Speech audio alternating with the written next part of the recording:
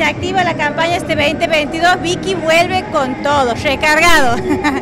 Agradecemos siempre la organización de esta convención FES-Z a César Cranulini por darnos el espacio solidario para poder realizar las actividades por Vicky. Si bien hemos seguido nosotros la historia de, Vicky, siempre seguramente habrá televidentes que, que, nos recuerdan eh, su, historia y el porqué ¿no? de, de lo importante de todo esto trabajo que ustedes llevan adelante. Sí, Vicky tuvo un accidente cuando era muy chiquita, cuando tiene un año y medio, un accidente de tránsito junto a su, a su papá y a su mamá.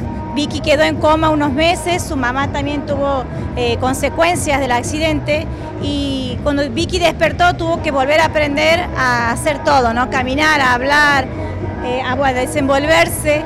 Y bueno, y hoy, desde entonces la campaña que lleva cuatro años, se concentra en eso, ¿no? En mejorar la calidad de vida de Vicky, de tratar de darle lo mejor, por eso activamos bingo, campaña, colecta de sangre, donde se pueda ir con Vicky a hacer la campaña.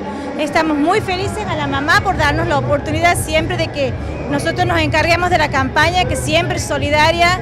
Todos los recaudados, le digo a la gente que se quiera comunicar con nosotros, nos escribe a la página, porque todos los recaudados para el tratamiento de las terapias de Vicky, que como verán, está inmensa y cada día nos necesita más. Divina, está divina. Em, recordemos las páginas, Lili, para que la gente entre, colabore, se sume y se entere de dónde están, qué andan haciendo. Bien, la página de nosotros es ONG Sonrisas y Acciones Solidarias, la página de Instagram también, Sonrisas y Acciones Solidarias, y Vicky tiene su página que es Todos por Vicky, y la mamá de Vicky también tiene su página, si le quieren escribir es Nancy Guaraz por cualquiera de los canales que nos quieran escribir, nosotros contestamos los mensajes y bueno, siempre publicamos las actividades que tenemos.